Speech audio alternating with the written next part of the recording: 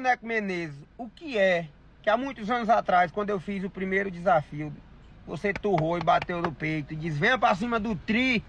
E agora eu tô indo pra cima do tri e o tri não fala nada. O tri tá caladinho. Tá caladinho por quê, tri? Tá com medo de ir pro Fantástico?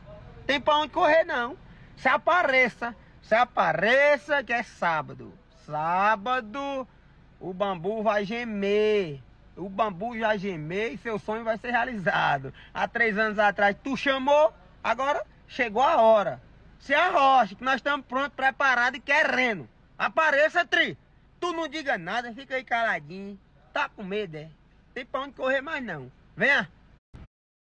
Alô, alô, peixão da lama, não teve jeito, peixão. Você pulou, pulou, pulou pra lá, pulou pra cá, mas não teve jeito. O destino quis e o Brasil queria ver dois cavalos bons de direita disputando mano a mano, tete a tete. E o gordinho no momento do Seravim vai pescar o peixão.